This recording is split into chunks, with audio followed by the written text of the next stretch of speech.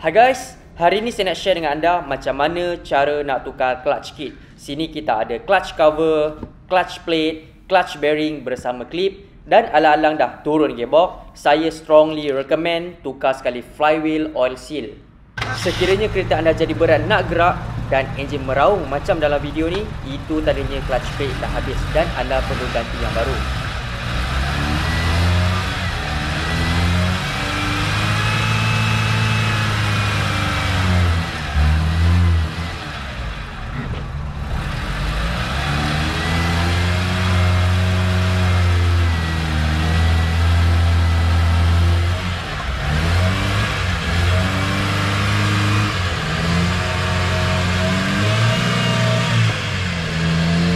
Saya listkan garis panduan supaya nak bagi anda lebih senang faham apa yang akan berlaku sepanjang proses turun naik gearbox.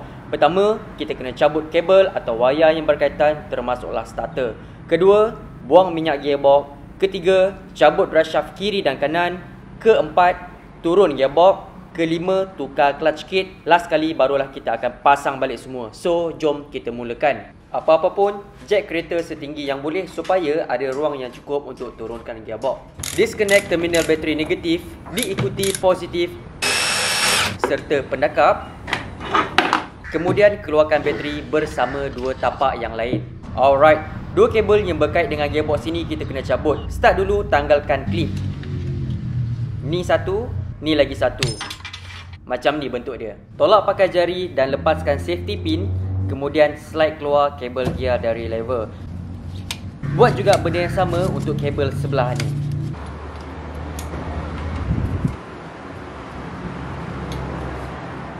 Okey, cantik. Bila kedua-dua kabel ni dah lepas, next kita kena lepaskan speedometer kabel pula. Caranya senang je. Keluarkan dulu bolt saiz 10mm. Lepas tu pusing cap ni lawan arah jam. Kemudian tarik kabel keluar je macam tu. Langkah seterusnya kita kena pisahkan starter dengan gearbox. Saya pakai right angle impact untuk memudahkan kerja. Kedua-dua bolt ni saiz 14mm. Okey, cantik. Starter dah lepas. Lepaskan kabel clutch dari lever. Lepas tu tarik dan keluarkan je macam tu. Datang bahagian bawah, tanggalkan plate besi kat celah ni dan dengan menggunakan soket saiz 14mm Keluarkan bolt di mana dia ikat mounting dengan gearbox. Alright, sekarang dah pun lepas.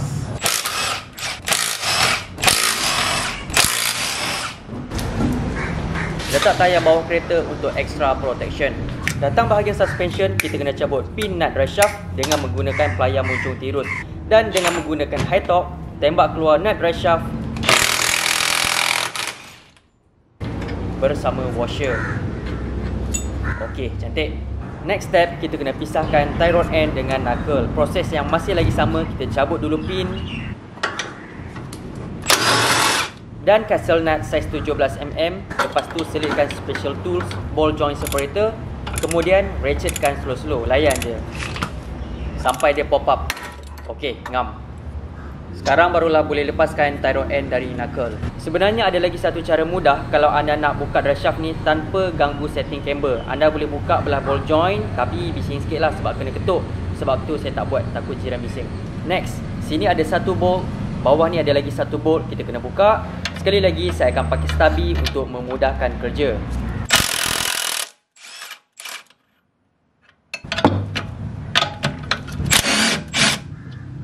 Ketuk-ketuk sikit. Kemudian cabut bolt atas. Dan bolt bawah. Okey Sepak sikit. Dan slide keluar kepada drive shaft dari knuckle. Tengok ni Getah dia pun dah koyak Sebelum cabut drive shaft dari gearbox, jangan lupa buang tak pun tadah dulu minyak gearbox sebab kita nak keep clean as possible. Kalau minyak dah tumpah atas lantai, memang renyah lah. Bila minyak dah habis keluar, ikan balik nut size 24 ni ketat secukup rasa. Sekarang, ambil pry panjang, try cungkil-cungkil sikit. Kalau degil juga, try pakai ball joint separator, fork type. tu dia. Barulah boleh keluarkan drive shaft dari gearbox. Okey, baik. Sekali lagi saya pakai right angle impact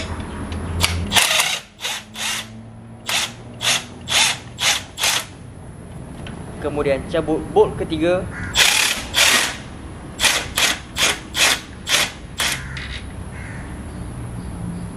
bolt keempat dan bolt terakhir kat bawah ni. Kesemuanya pakai saiz 14mm. Kemudian support sikit bawah gearbox pakai jack tapi jangan di jack pula. Sekadar tahan tak nak bagi dia jatuh je. Last kali masa untuk buka gearbox mounting. Keluarkan bolt melintang ni. Kemudian tembak 2 biji bolt saiz 17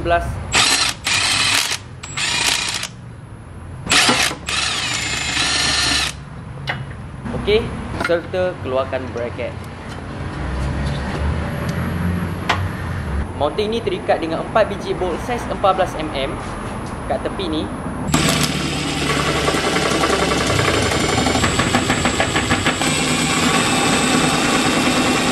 Tembak semua bolt dan keluarkan mounting. Alright, double check pastikan everything dah disconnect. Tak ada wayar, kabel yang bersangkut paut dengan gearbox atas dan bawah masa yang dinanti-nantikan pakai sikit tenaga jantan kita try goncang-goncang sikit kasih dia, dia keluar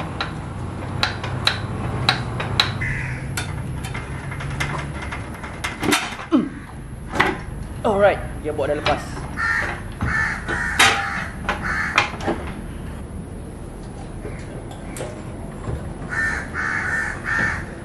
dan turunkan jack secara perlahan-lahan Okey, cantik. So macam inilah rupa gearbox. Nak kata berat sangat tu pun tidaklah. Adalah dalam 30 kilo. Boleh DIY sendiri untuk kereta ni. Alright, sekarang masa untuk swap barang baru. Kita mula dulu dengan ganti bearing ni. Caranya keluarkan dulu klip ni.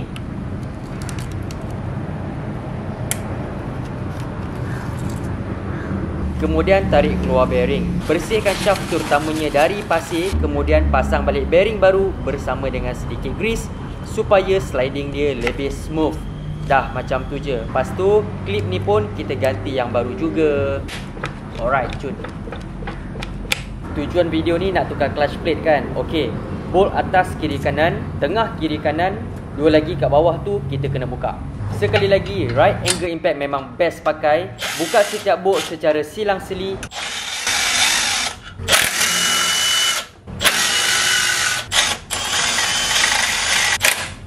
sampailah bolt yang terakhir. Totalnya ada 6 biji bolt. Kemudian keluarkan serentak clutch cover bersama clutch plate.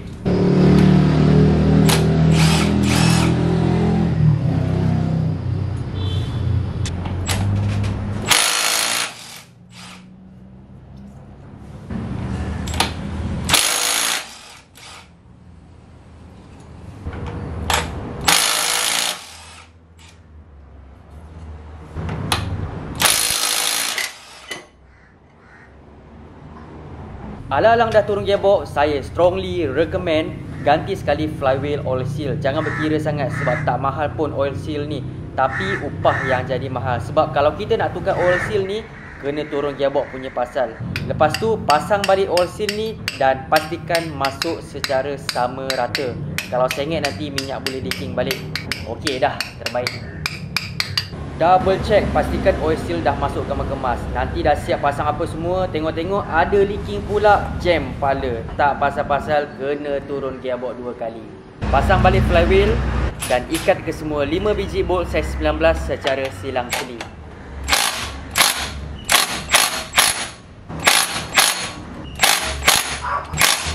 Okey, cun.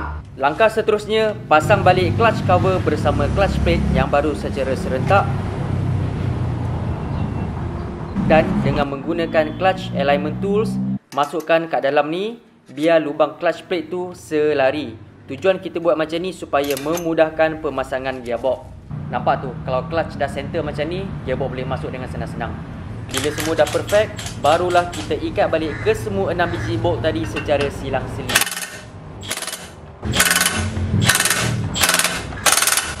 Okay, turboy. Alright, gearbox ni saya malas nak cuci sebab suara ni saya jarang bawa. Kalau anda nak cuci tu pun lagi elok lah.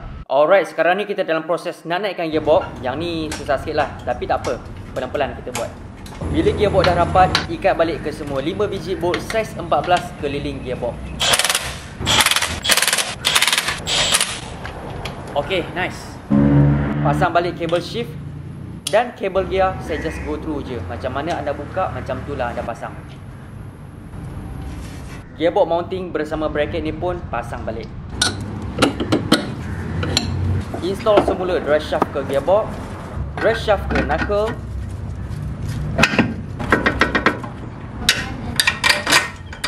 Letakkan dua biji bolt absorber atas dan bawah. Attach semula tyro end ke knuckle. Masuk balik nut drive shaft dan ikat sampai ketat. Last but not least, jangan lupa isi semula minyak gearbox. Minyak badal ni dijamin original. Kalau anda nak, boleh dapatkan dari Mountain King dengan harga yang terbaik. Link ada kat bawah. Sekarang isi minyak gearbox badal ni, kalau anda nak tahu cara nak tukar minyak gearbox manual, tekan link kat atas video ni. Saya ada tunjuk cara nak buat. Last kali, sambung balik kedua-dua terminal bateri. Alright, sekarang jom kita pergi test drive. Kalau anda nak uji sama ada betul ke tak cara pemasangan clutch plate ni, kalau kereta anda dah boleh gerak dengan reverse tu, kira betul lah tu cara pasang.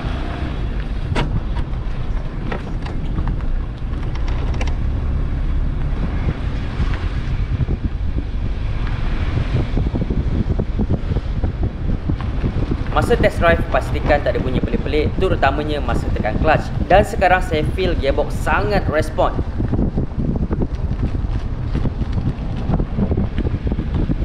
Lepas test drive, pantau-pantau sikit bawah kereta Pastikan tak ada minyak yang leaking Untuk kes ni, semua nampak dalam keadaan yang elok lah Akhirnya kita dah berjaya tukar clutch kit Inilah barang-barang yang lama Ada bearing, flywheel oil seal, clutch plate dan clutch cover. Macam biasa kalau anda nak beli minyak baldal ni boleh dapatkan dari Mountain King dijamin original. Saya harap video ni sangat bermanfaat untuk kita semua. Kita jumpa lagi next time.